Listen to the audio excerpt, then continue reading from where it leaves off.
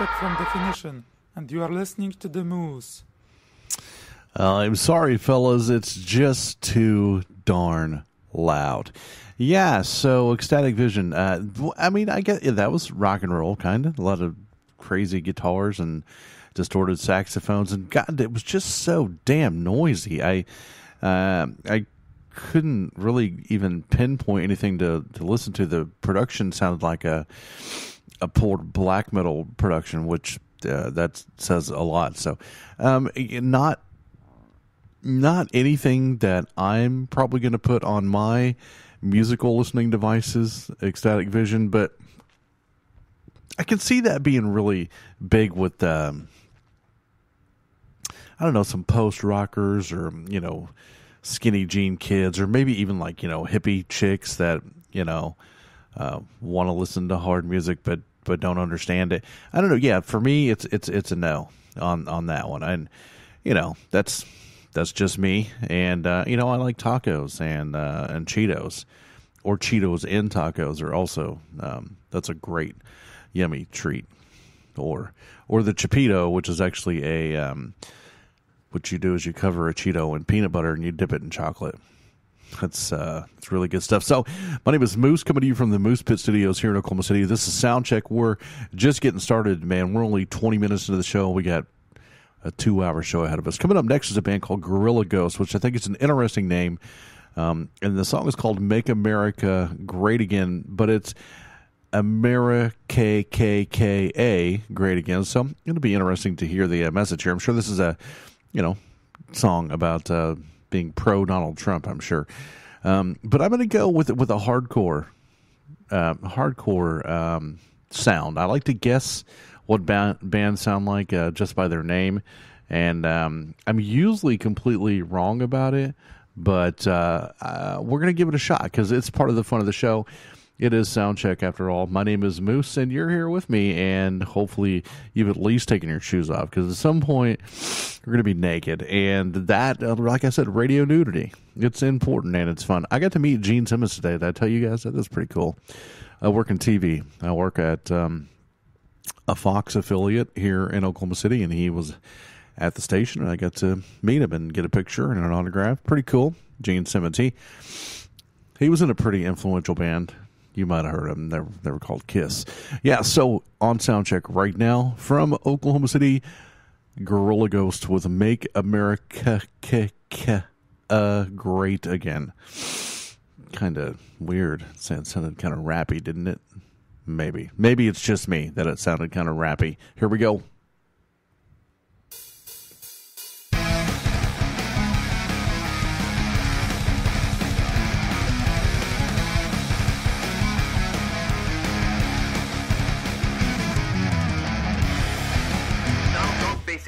Criticism for something he did on the campaign trail last night in South Carolina while defending his debunked claim that he saw thousands of Muslims celebrate the collapse of the Twin Towers here in New York. He appeared to mock a reporter with a disability. Now the poor guy, you gotta see this guy. Oh, I don't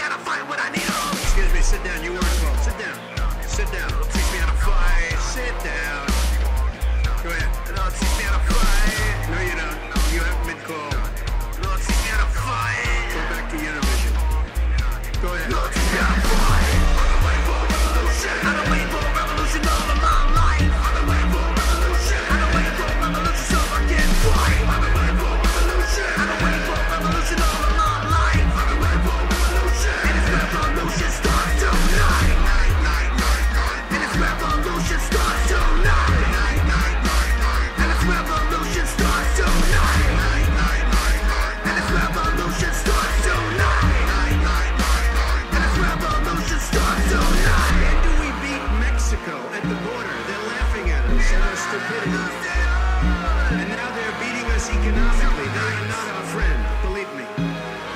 But they're killing us economically. When Mexico sends its people, they're not sending their best. They're not sending you. They're not sending you. They're sending people that have lots of problems.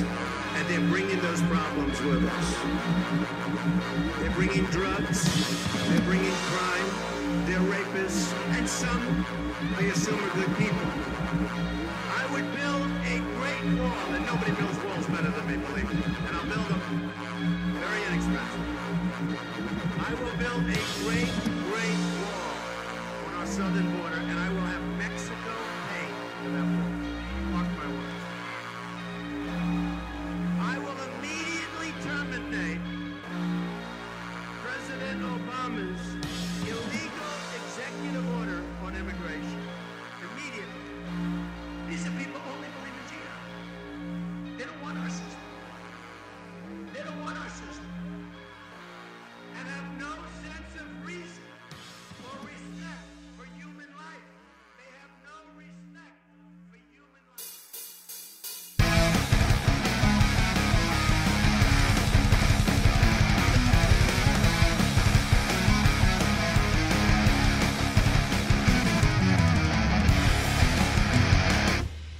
All right, Gorilla Ghost. They're another strange one. Uh, certainly not metal. I guess kind of you know uh, prodigy esque, um, politically fueled kind of thing. Rap, whatever you want to call it. So listen, I don't really want to get political on the show. It's just not about politics. It's about uh, metal. It's about. Um, uh, uh, it's it's just not a political, but I, but I will say, listen, and I'm totally one thousand percent pro, um, anti, uh, the man in music. You know, music has been charged by um, against the government, against you know school, against you know the man holding you down, but real quickly, just for I was listening to some of the lyrics of that song as it was going on. Um, just uh, and like I said, I might get some flack for this, and that's fine.